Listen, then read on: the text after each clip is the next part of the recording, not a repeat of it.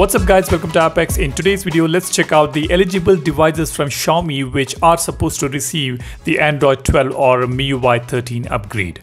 If you remember a couple of months ago Xiaomi did change its OS upgrade policy and confirmed to offer 3 years of major OS upgrades and 4 years of security updates.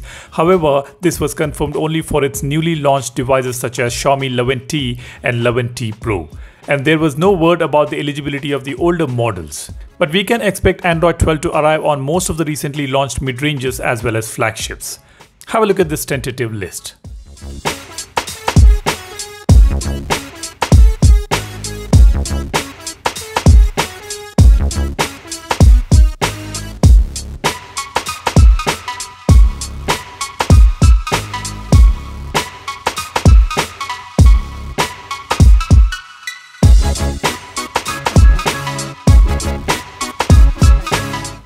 Alright, now these devices are expected to get MIUI 13 or Android 12 and Xiaomi will be the third after Google and Samsung to push the major update for their eligible devices. Now if you look at Samsung, they changed their software update policy a year ago and confirmed that they will be offering 3 years of OS upgrades and 4 years of security updates for many of its devices and in the recently released official list of eligible devices, Samsung has confirmed the models which will get the major update. I have made a separate video on that for which I have left a link in the description. If you are a Samsung user, you can check out that video to know whether your phone is eligible or not. Now it's high time Xiaomi also extended its 3-year upgrade policy to at least some of its older phones to keep the customers happy.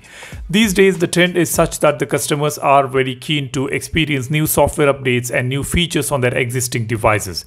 And we would prefer buying a phone which supports longer software support. Samsung is upping the game when it comes to software and we expect Xiaomi also to follow the suit. Let's hope that at least these listed devices get MIUI 13 soon. If you have anything to share, do leave a comment.